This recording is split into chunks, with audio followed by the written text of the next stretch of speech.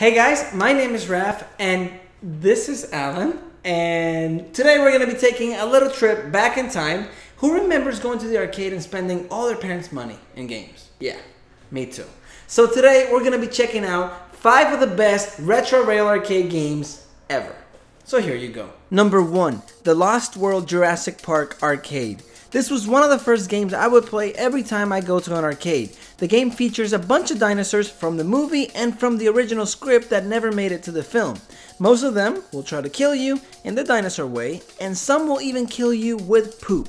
One of the coolest things about this game is that it features chases where you have to shoot dinosaurs in specific parts of the body in order to make them stop. And when you're fighting a T-Rex coming at full speed towards you, trust me, it gets intense. Number 2. The House of the Dead 2.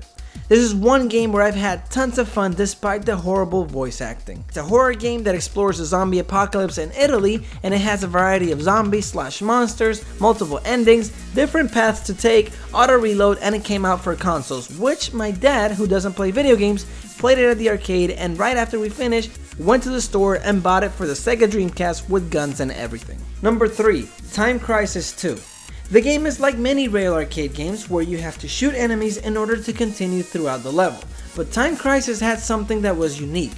It has a foot pedal that lets you take cover allowing you to dodge bullets. Also at certain points throughout the game, each player goes on different routes and meet up later in the level. Another cool thing about the game is that players can cover each other when fighting enemies. So player 1 can be getting shot at, but player 2 can shoot at the enemy that's shooting player 1, while player 1 is hiding to avoid damage. It's a great mechanic. Number 4. Star Wars Trilogy Arcade.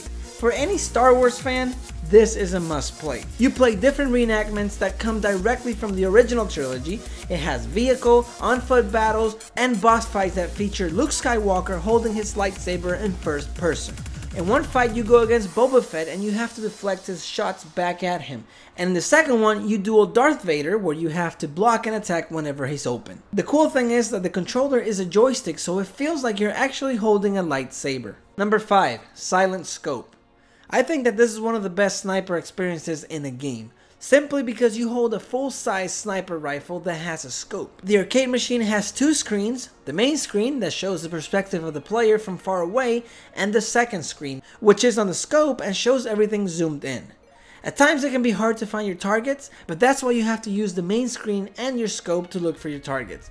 This game also came out for consoles, but without the sniper rifle, it's not as fun. And there you have it. Let me know what's your favorite Rail Arcade game, and if you like this video, please like, and if you haven't subscribed, please do because I post awesome videos every Monday on anything that has to do with video games. Also, if you haven't checked out bitcultures.com, Go check them out. It's an awesome website I'm working with. They have tons of news, articles, reviews, videos, anything on video games. Thanks for watching. Yeah, see you later.